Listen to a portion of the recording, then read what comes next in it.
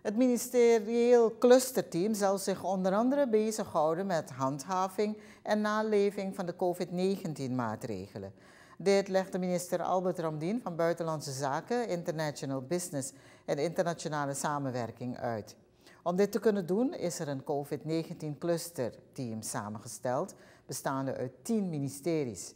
Naast de handhaving zijn er nog meer zaken waarmee het team zich zal bezighouden. De medische stand van zaken, de gezondheidssituatie rondom COVID, die worden iedere keer gepresenteerd, omdat uitgangspunt blijft voor betreft de maatregelen die getroffen moeten worden. Wat is de situatie met betrekking tot de algemene gezondheidssituatie in termen van COVID-19, de besmettingen, maar ook in termen van de capaciteit van de zorg.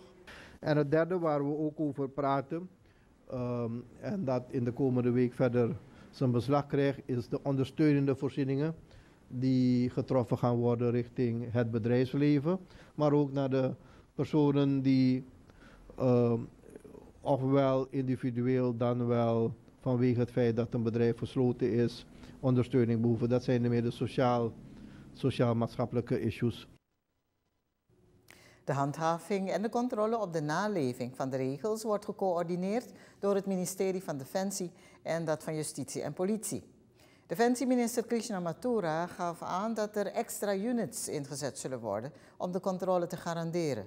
Ook moet de samenleving vaker worden geïnformeerd over de handhaving van de vastgestelde protocollen en maatregelen. We hebben in alle ministeries die hier genoemd zijn, de tien en nog meer, hebben buitengewone, uh, buitengewone agenten van politie. Mensen die een bijzondere opsporingsbevoegdheid hebben. En wat we gaan doen is die capaciteit die de politie heeft en die al belast is met reguliere taken, dat we die capaciteit gaan ondersteunen door die mensen die bijzondere opsporingsbevoegdheid hebben, specifiek ook te belasten met de COVID-maatregelen.